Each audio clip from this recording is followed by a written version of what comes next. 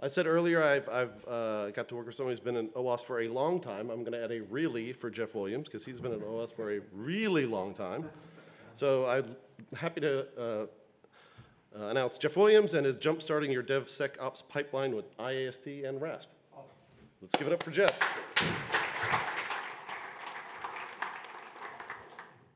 All right, hey, thanks everyone for coming out. Uh, you may not know me, but you may have used some of my work. Uh, I wrote the OWASP Top 10, I wrote WebGoat, I wrote a ESAPI, I led OWASP for eight years when we were first just starting out. And uh, it's actually some of the, the work that I, I value the most in my career. It's really rewarding to contribute. So this is an initial plea. Join a project, contribute what you know. Uh, there's a tiny number of AppSec people in the world, and 16 to 20 million developers worldwide, we've got a massive problem. So, you know, join up do something. It's, it's uh, super rewarding. Um, so I'm going to start out with a couple of facts. Uh, it's a little bit of downer. Uh, the average application out there is super vulnerable. Uh, this is sort of a representation of most applications. You got libraries down here on the bottom and custom code up here on the top. Now, one thing that's kind of interesting is that 71% of library code is never invoked. Like it's just along for the ride. It gets compiled into applications, but it never runs. So uh, that's actually pretty important when you're considering where you're going to spend your security time. Uh, I want you to think about just the code that runs. Code that doesn't run really isn't a problem. So if you look at that, then three quarters of what you're looking at is custom code, and one quarter is library code. And you know, there are folks out there that are saying over and over again, you know, 90% of your application is libraries, so that's where you got to spend all your effort. That is misleading. So focus on where the vulnerabilities actually are. You're likely to have one, maybe two vulnerabilities in your library code for a typical application, and on average, 26.7 vulnerabilities in your custom code. So focus your efforts a little bit. By the way, this number is terrifying. If this was one or two serious vulnerabilities per app, that would be a crisis in my mind because these apps are critical. And we are not doing very well. If this was like the airline industry, for instance, and every plane you looked at had 26.7 safety vulnerabilities in it, you probably wouldn't fly a lot. But you guys are doing your banking and doing your online activities in applications that are super vulnerable. Okay, uh, so that would be bad. Uh, there's also a lot of attack activity. So this is data collected across tens of thousands of applications um, over the last month, and every application that we protect was attacked. The attacks are rampant out there. More than half are attacked with SQL injection, and these numbers go up and down a little bit every month, but uh, there's a ton of attack traffic going on out there. So that's not a great combination a lot of vulnerabilities, a lot of attacks going on, uh, is a recipe for uh, disaster. Okay, so it's a little bit of the, the situation. I am trying to change that. we have to do better. And DevSecOps is a possible path forward. Uh, DevOps has had really promising results for development in terms of improving not only the pace of delivery, but also the quality of delivery. And this is like the big thing that companies struggle to get over, is it seems like moving faster would make you less quality, but it's not true. Organizations that invest in DevOps, by and large, have massive improvements in quality uh, and resilience and, uh, and so on. So this is, I mean, this is a, a key experiment that we can try. We can try applying the principles of DevOps to security. And that's a, a look, that's not a, an obvious thing to do. There are a lot of companies out there that are telling you what DevSecOps is. Most of them are just saying to apply a little DevOps lipstick to the traditional ways that we do security. So I'll tell you, like plugging Fortify or Veracode into Jenkins and running it as part of every build is not DevSecOps. Uh, that's a trivial step. That's automating the scan button. This is a much more fundamental translation, and uh, I think the path is to look at what Gene Kim laid out for us in the Phoenix Project, which you should obviously read if you haven't read it. But he lays out three ways of DevOps, And we need to translate those for security into three ways of security and see if this will work. I still think we're in early days for this, but I fully believe that this is the right path forward to massive improvements in security. But this is a different talk. Uh, we're going to talk about automation today. If you're interested in that topic, uh, I just published this uh, ref card on DevSecOps for dzone. And uh, I strongly encourage you to look at it. It's, got, uh, it's, it's pretty lengthy and it's got a good explanation of how that process should work. Um, as a side comment, I wish I could have published this at OWASP, but uh, OWASP makes it really difficult for uh, vendors to participate, and that's a challenge for OWASP that I, would like to see addressed. Um, okay, so today we're going to focus on something much narrower. We're just going to talk about the automation piece of DevSecOps. We're going to build a DevSecOps pipeline. And we're going to use two technologies called IAST and RASP.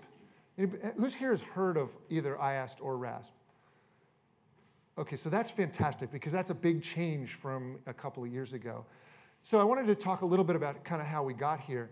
There's two parts of AppSec. There's the development side where we want to make our code better with the code quality side where we want to find vulnerabilities and eliminate them. And then there's the operations side. This is where we need to identify and block attacks. Now, historically, those have been two completely separate processes practiced largely by different people. That's really weird. Uh, the technologies on the, the development side, forever we had just SAST and DAST tools, static analysis and dynamic scanners. And those tools were everything. Uh, you know, they're all always really frustrating. They're slow and inaccurate, but that's what we had for a long time. Uh, a few years ago, IAST came out. That stands for Interactive Application Security Testing. And the big difference is it takes some of the techniques of SAST and DAST and some other things and delivers them from inside the running application using a technique called instrumentation. We'll talk a little bit about how that works in a second. But getting inside the app is the key here. When you're inside the app, you have more context, so you can find a broader range of things and you can be much more accurate. So that's the big advance here. And interestingly, almost the same thing happened on the operational side. So for years we had WAFs and IDS. That was sort of it. That's how you protected apps. These look at HTTP traffic and try to block attacks, but they don't know what they're defending. And so they make a lot of mistakes. So you've probably seen a lot of WAF bypasses and, and things like that. RASP protects applications from inside the app. And so RASP sees the data the way the app sees the data, not what it looks like on the wire. And so it can do a lot better job here. So interestingly, that development happened, you know, roughly the same time frame. And I think the trend is to provide those two things together. So a single agent that provides IAST and RASP and software composition analysis, which is sort of a third branch of this that's uh, come onto the scene uh, to analyze open source libraries. Okay, so that's a little the, the historical background of how we got here. I want to talk a little bit about how IAST and RASP really work. So I want you to imagine your application uh, or API, big code base across the whole stack. And with IAST and RASP, what you do is you add a component to the application. I mean, technically it's an agent, but it's not like an operating system agent. This is like a library you add to your app. And what that library does is it instruments your application. So it puts sensors all over your application. This is a little bit like plugging into that diagnostic port in your car so you can get you know, readouts directly from the engine and temperature and speed and RPMs and so on. It's a little like that for your software. So we're going to read this data directly from the running app. We're going to watch it run. And using that information, we're going to identify vulnerabilities and attacks. So with IAST, uh, imagine a developer just using this application normally right? He's developing it, he's running it in a local environment or in a QA environment. When he runs this and the instrumentation is in place because he's got the agent, so imagine a SQL injection kind of vulnerability that he's just introduced. He types in, let's say, the word Jeff into his application. That data flows through the application. In fact, all the data paths flow through the application. We'll focus on this one that flows through and ends up eventually in a SQL query. Now the IAST can see, it sees this path and it can look back across this path and say, hey, was that data escaped or parameterized in some way that would have prevented SQL injection? If not, then we know we've confirmed this is a vulnerable path through the application. We know it's exploitable and we can report it. So this is, you know, again, why IAST and RASP are more accurate than SAST and WAFs and things like that. It's because they can only report things that actually happen in the application. They don't build a model of the application. They're using the actual application as what they're studying. And similarly, on the RASP side, it works almost the same way. This time, imagine an attack.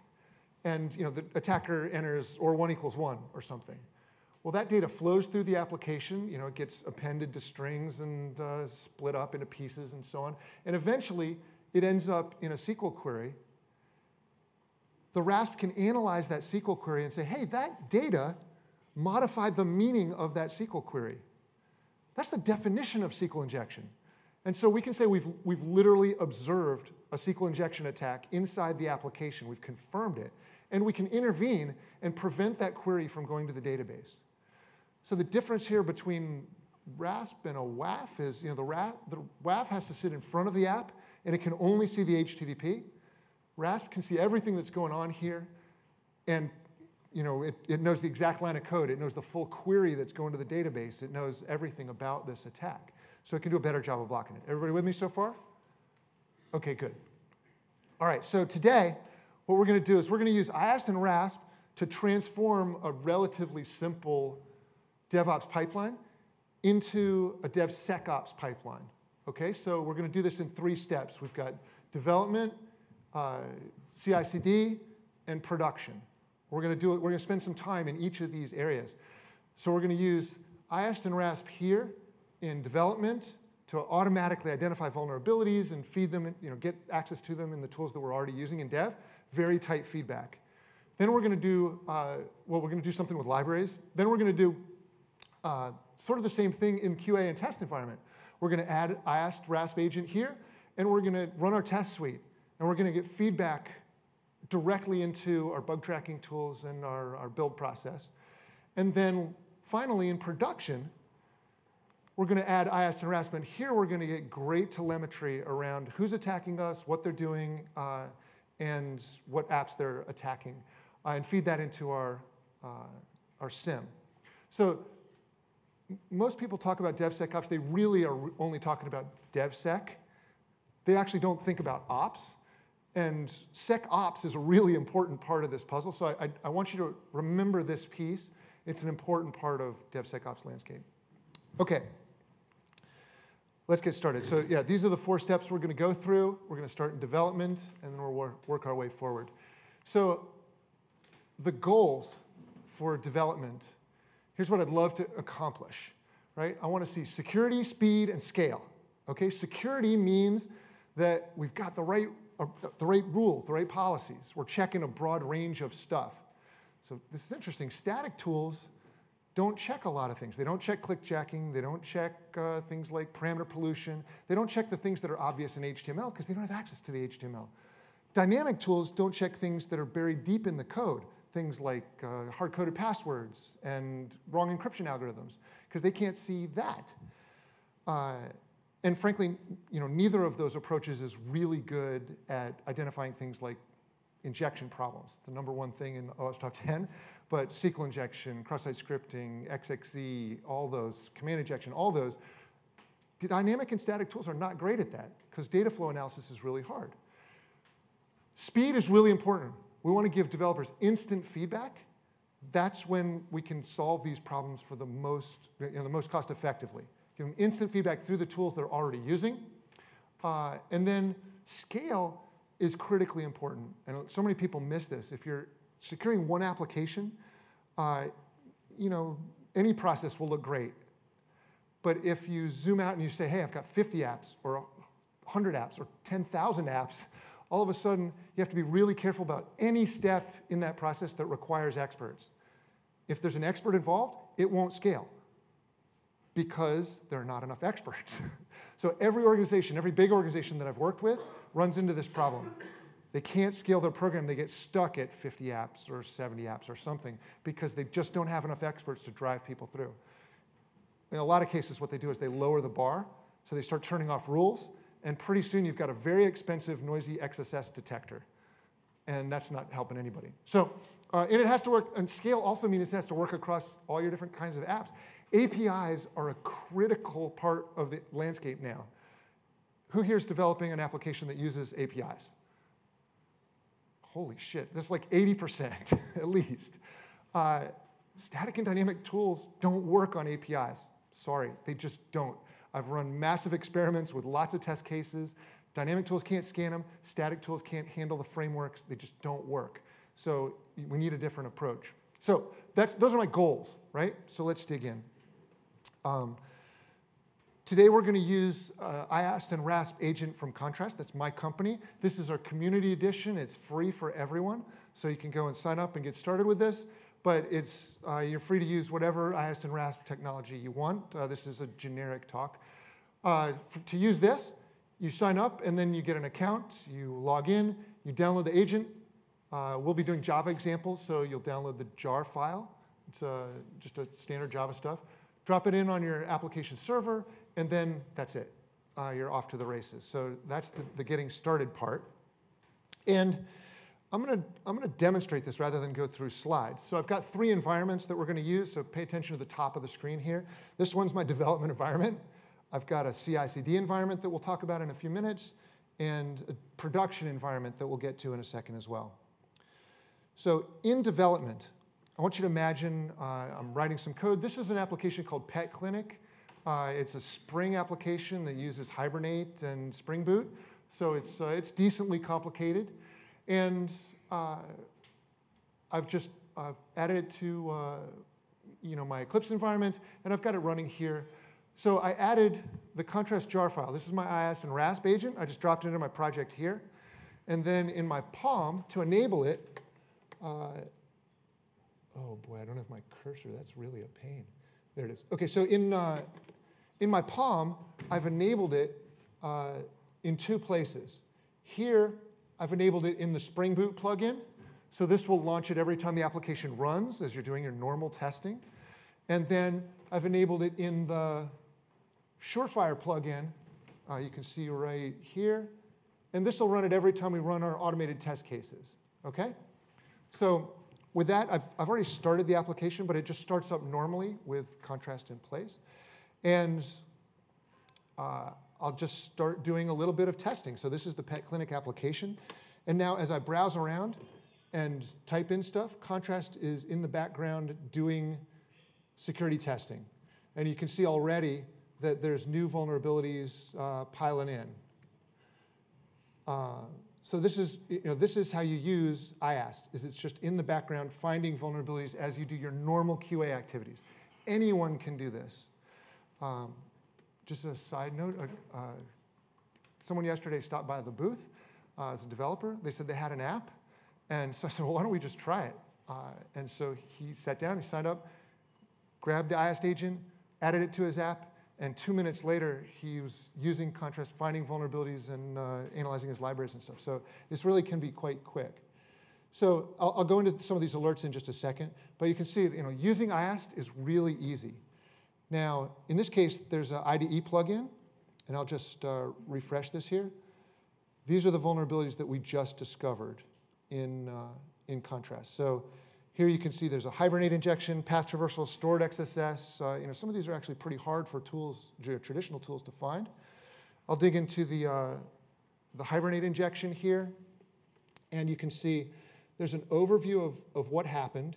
And I'm going to try and uh, zoom in on this. Let's see if this works. So this tells a nice little story about this vulnerability. It says, hey, here's some details from an HTTP request. This is part of the GET that, that data, that ASDF, was accessed on this following line of code. So it gives you the method and the line number. And then it shows you where that data landed in this SQL query. So you can see that same ASDF that I just typed in right here. Uh, that's the kind of the definition of SQL injection. The data flowed from untrusted source through into a SQL query without being parameterized or escaped. Uh, that's really powerful story that, that developers can get their head around to go fix this. Now, this, uh, you know, this vulnerability has some details about what you need to do to fix it uh, in terms of you know, making this a safe HQL query. Uh, by the way, this is Hibernate injection. It's a little bit different than SQL injection. Uh, because this application uses Hibernate, this, the query is a little more complicated, but uh, IAST can handle that no problem. And there's also a lot of details here about this vulnerability. So you can see there's uh, you know, the line of code where the, the parameter came in, the details of building this query, uh, and then the, the line of code where this was actually sent to the database. So you can really see the whole flow and the full stack trace for, uh, for each of these steps. And the, idea, the whole idea here is to make this fixable for developers. So I can double click on this and go directly to the exact line of code where that vulnerability exists in the software. So the idea here again is let's make this easy for developers. Let's give it to them in the tools that they're already using. So I, showed you before that, uh, that Slack message I got. We got these same vulnerabilities right through my Slack channel. And uh, here's uh, a stored cross-site scripting event. You can see some data, you know, went into a database in, database in one place, and then somewhere else, some other thread pulled out that data. IAST can track that through the application. Uh, so uh, Slack is an interesting way of getting vulnerabilities to people in development because they get that instant feedback that, hey, something went wrong. And I wanted to show you one last way that I think is kind of interesting. Uh, this is a Chrome plugin. And so I'm, I'm going against the same application here. Uh, I'll go to the page that had that HQL vulnerability on it. And here you can see this little uh, IAST RASP plugin here. I can get the, the data about the vulnerabilities that are actually on this page. So for a developer, as they're just browsing, like using their, their app in development, they can get feedback on, hey, this page has these vulnerabilities in it.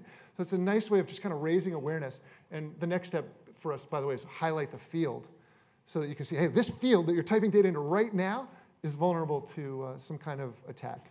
So again, this is, I think this is some of the kind of research that OWASP ought to be doing is make this data more useful. Um, okay, so uh, that's uh, a crash course in IAST in development. We're going to move to uh, uh the CI/CD environment, or actually to libraries in just a second. I have a few slides here that, in case this demo didn't work, uh, these are backup slides. So here's what we did. We put IAST into the project. We, uh, we found some vulnerabilities, and we delivered it through a bunch of different sources. Oh, I forgot to show um, this retire.js plugin, I think is, is great. This is a, uh, a, a non-contrast tool, but this is, uh, oops. This is a great way to, uh, to find libraries in, in JavaScript and anything that's out of date with known vulnerabilities. So it's a Chrome plugin that relies on retire.js. This will tell you about any libraries, JavaScript libraries that are out of date or need, uh, you know, have known vulnerabilities on any page that you visit. And it's terrifying when you're on your online banking site and they got, you know, five or six libraries that need updating. Uh, that's concerning. So I strongly recommend, recommend this tool. And so that was just a few of the integrations. Uh, IAST and RASP are, are integrated into a whole bunch of different tools. We don't have time to look at all of them, but uh, they're easy to integrate into a bunch of stuff. Okay, so uh, let's move to uh, open source libraries. We showed, by the way, I think we showed that uh, IAST and RASP do that security thing. The rule set's very broad, and it's super fast, so you get that instant feedback, and it scales really nicely. We just did one app, but it works the same distributed across all your apps. So the next thing is uh, locking down some open source libraries. Um, Let's, uh, oh, sorry, let's uh, look at this real quick. So my goals here are to get open source under control in organizations. We need to, we need to know what we have. So in my vision, everyone should know exactly what open source they're running on every server, everywhere in their organization, always up to date. I like tools like uh, dependency check, but you have to run a scan. And so it's, you'd have to build some infrastructure to keep everything up to date. IAST does this, we'll show you. It, it collects all the information continuously. Uh, you need to assess those libraries, not for uh, just known vulnerabilities. Known vulnerabilities is the easiest problem in AppSec. It's literally, are you using this library? Then yes, you have this vulnerability. But also unknown vulnerabilities in these libraries as well, because there's lots of them. there's probably a handful of security researchers out there looking at open source libraries. That's crazy. Uh, anyway, we can talk about that another time. And then the last thing is detection really isn't enough. It's not enough to just have the fire alarm. We need the fire extinguishers. And so RASP here will protect those libraries from being exploited, even if they're vulnerable. So we'll, we'll take a look at all that. So uh, let me uh, let me go to uh, demo here, and I'll just pull up uh, what uh, what uh, this IAST tool has found about libraries in this environment. So we just started this. When we started the IAST tool, it registered with this you know this console, and it started reporting data. And here we see you know, sort of the dashboard for this. We see we've found a few vulnerabilities in, in development. Uh, and I'll click on the libraries tab here, and you can see that uh, IAST has analyzed all the libraries in the project, reports them here, tells you what version you're using, what the latest version is, and how much of that library is actually used. And actually, that's really important. If you want to save 72% of your work, then don't look at the libraries that are never invoked because they don't matter. These are the ones that matter, the ones that are actually being used.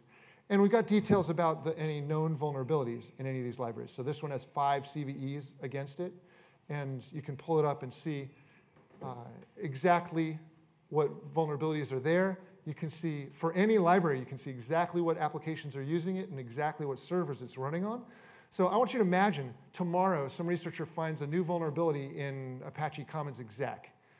Well, you can just type that in here and pull up and see exactly where that library is everywhere in your enterprise. That's what we need, is we don't need to be scanning everything. We need to, be, we need to know what we're running. Um, okay, so uh, let's see. We'll, we'll cover the attack bit uh, in a, at, at the end because I'm running a little short on time. Uh, I will say that this is a really important problem. This is the, uh, the Equifax vulnerability. This is the attack on the library, and you can see there's an expression language injection attack in this request. This is a, one that we actually blocked. And uh, this is super easy to exploit because it's a one, one HTTP request completely takes over your app server. And it's nothing to do with your code, it's completely inside the library. Um, so it's really important. You need to be able to respond to new vulnerabilities within hours. Uh, that's how fast the attacks start happening against new vulnerabilities that get released. And so I want you to consider if your current approach is to scan, then when a new vulnerability comes out, you've got to go scan everything for where you're using that library. You've got to figure out if you're using it. You got to rewrite the app. You got get the new app, the new library. Then you got to rewrite the app to be compatible with that new library. They need to retest it and redeploy it. That's really expensive. And so I, I, believe you have to have better infrastructure in place to respond within hours. I, I don't see any other alternative than RASP here to get in front of this attack and protect applications from being exploited.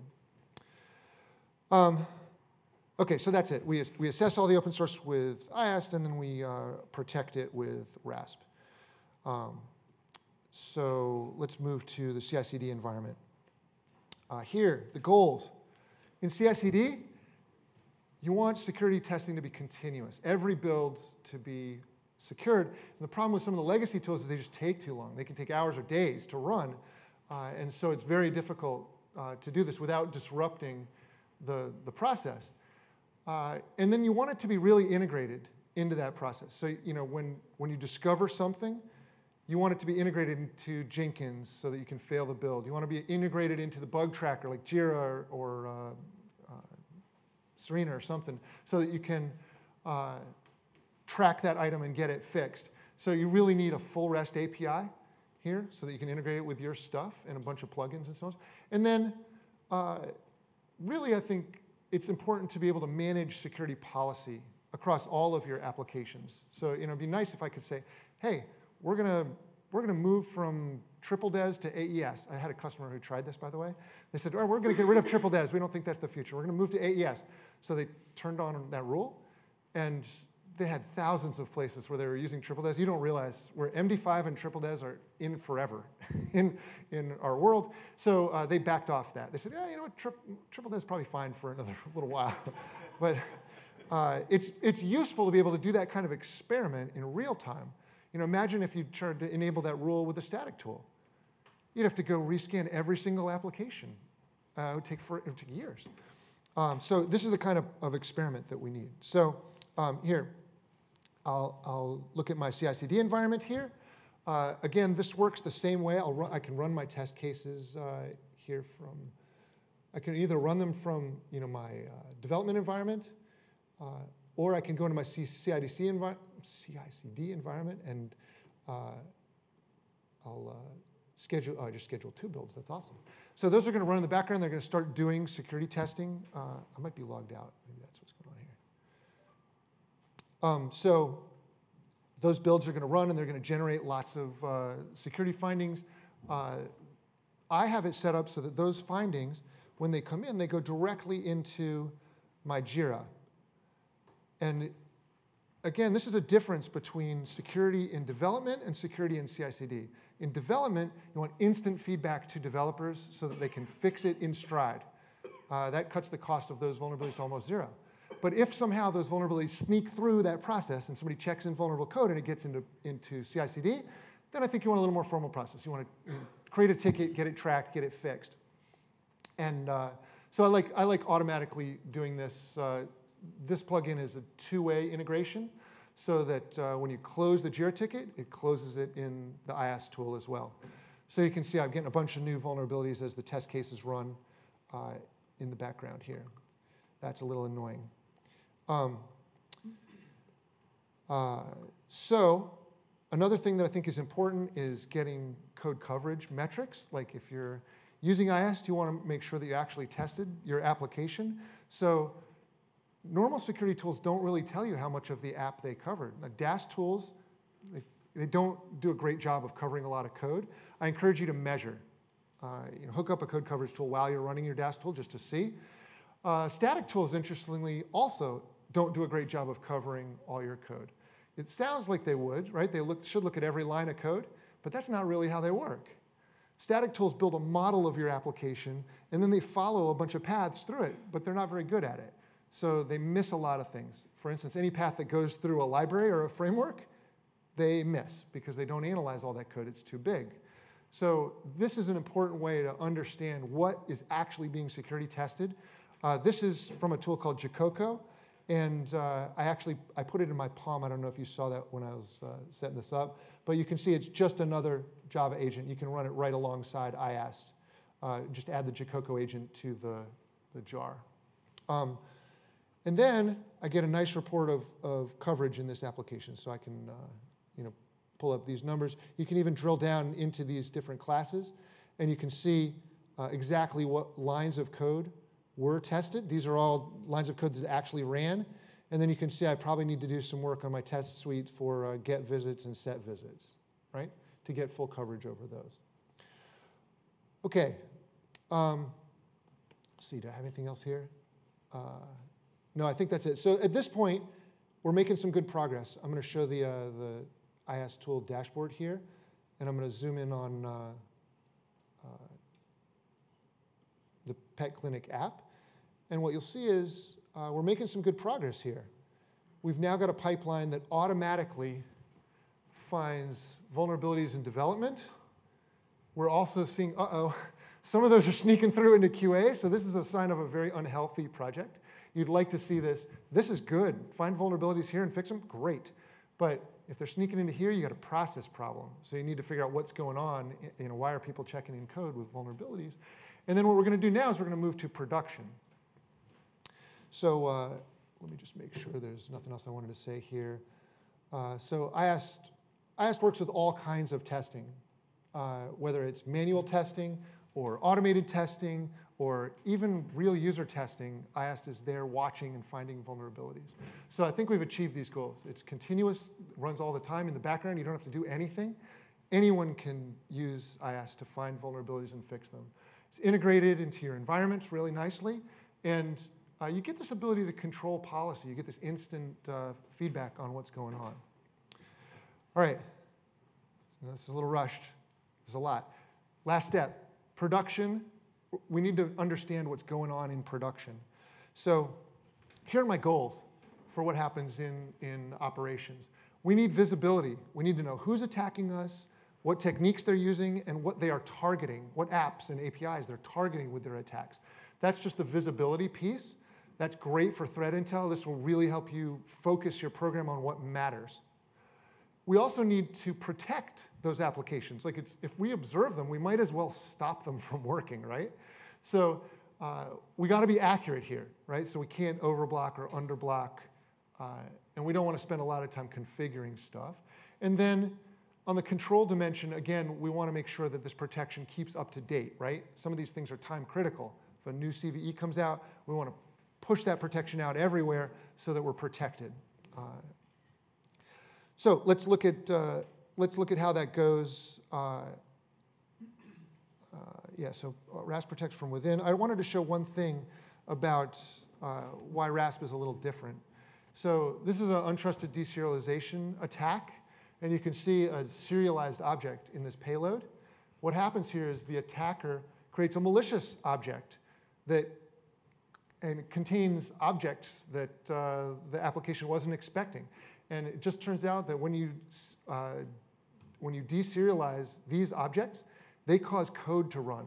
Because when you deserialize an object, you have to run the constructor for those objects. And so if you craft this up just right, you can get that code to run here. And in this case, it's running a runtime.exec and launching the calc program. That's a complete host takeover with one simple request, right?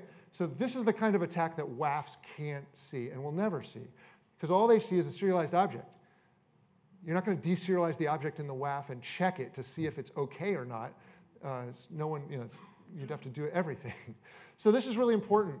And uh, RASP can do this because RASP is inside the running application. It can essentially sandbox the deserialization process and prevent bad things from happening. So that's why it's quite different than, uh, than WAFs.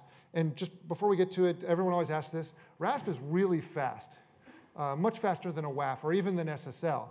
Uh, here you see SSL typically takes about five milliseconds. Uh, our implementation adds about 50 microseconds to a round trip request, but you should measure. Whatever RASP you decide to use, measure it carefully so you know if it's got a performance impact. But it's, it's super fast because it's running as part of the code itself, essentially. Okay, so let's take a look here. There's development, CI/CD, go into production here. And so this is my app. It's running in, uh, in my prod environment.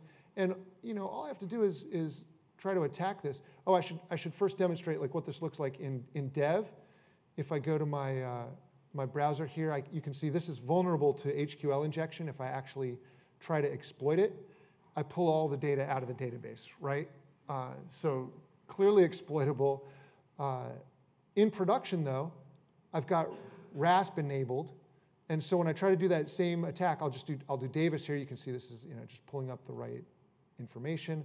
But when I try to run this uh, attack, now RASP intervenes it prevented that SQL attack from making it to the database. And really what RASP does inside is it's, it's going right to the line of code that's sending that query to the database, and it's throwing an exception. Basically, it's, it's essentially pretending that the database doesn't work right now. Like it's just throwing an exception like the database is down. That way the application can close this transaction and clean up anything so you don't leave anything in an inconsistent state. You maintain database integrity, and you've got your application protected. So you can see I just got an alert that says, hey, uh-oh, we're under attack. And you can go check the dashboard here uh, to see what attacks look like uh, against your application. Again, this will always be up to date, but here we've got a bunch of uh, attacks, and I'll, I'll, open this up to uh, everything so you can see all the different attacks. You can see here's the SQL injection attack that we just did. Here's the attack value. Here's a you know expression language injection and some CVEs get attacked here. You know, lots of different things going on here. But this is critical information. You should know who's attacking you and what techniques they're using. I don't see how you can defend your app if you don't know what's going on. And what's cool about RASP is that you get all the details. So if I open this up, you can see, hey, this is the, uh, you know, the full HTTP request. You can see right down into the SQL query. You can even see the exact line of code that this, uh, this attack targeted. So again, it's a lot different than a WAF. Uh, a WAF could never tell you all this stuff. It could never tell you the currently logged in user. Uh, so just a, a lot of benefits here from an attack perspective. Okay. Uh, am I doing on time, Matt? Almost up?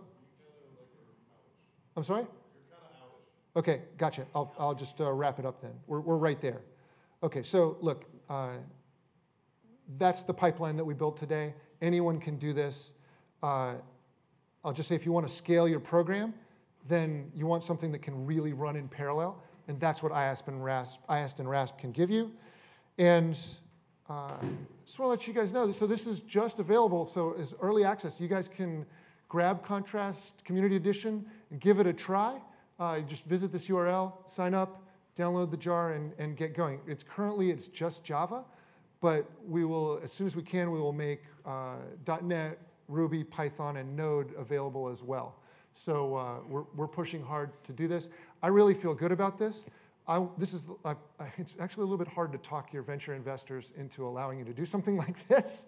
But for me, this is a path to giving great security tools to all the developers in the world that will never be able to afford you know, the, the Fortifies and Veracodes and, and tools out there.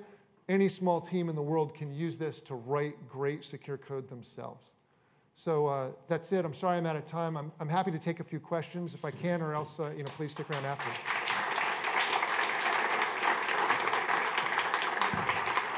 Thanks. Got a, got a question right here. Yeah. Uh, thanks. Good talk. Um, so how do you know that in a specific data flow something is not being escaped? How, how Yeah. do you conclude that? Yeah, so uh, IAST typically knows about all the standard encoders. Uh, the way that we do it, we actually have some AI built in that automatically identifies methods that look like escape methods But and you have, to, you have to recognize the methods. If, if, if I write a, a custom way of escaping, escaping Yeah, Contrast uh, will automatically identify it, very likely, and add it to our list of known escapers.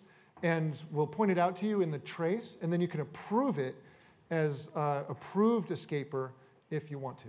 okay. Thank Yeah, it's a very complicated uh, problem, but it's, uh, we've, we've put a lot of work into solving that, yeah. Thank you, Jeff. So you shown the picture of uh, Jacoco unit test and integration test combined in the SonarQube interface, right? Like showing us a coverage. Does IAST tool provide any kind of coverage metrics to say that uh, IAST tool covered this much part of the code for the security and these rules were applied? Like Yeah. the C, yeah. Yeah, so uh, right now, you, you can rely on a standard code coverage tool like Jacoco or E EclEmma or something.